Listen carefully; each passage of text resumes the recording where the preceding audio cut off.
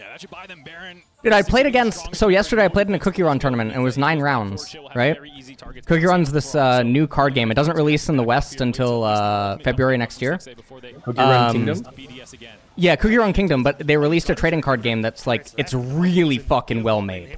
It's like this is my second favorite card game under Magic now, but like it's it's very very very well made.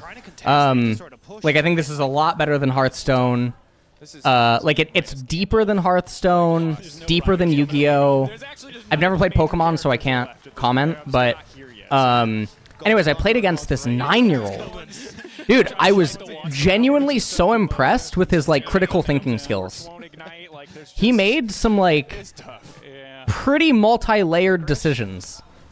He wins this. I don't know. I think Adam's just. He's a And then wants the wave. I show up today to watch Worlds. Trying to fight in 1v1 and change I see. Golden Guardians draft, so you know, I mean, They know that they are a for fuck's sake, we I we can't all win, you along know. all the way right into the punchline, bro.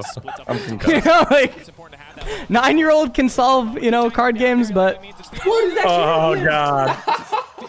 Garen, Garaning. Stand corrected. He is looking for the 1v1. Adam finds it. Yep.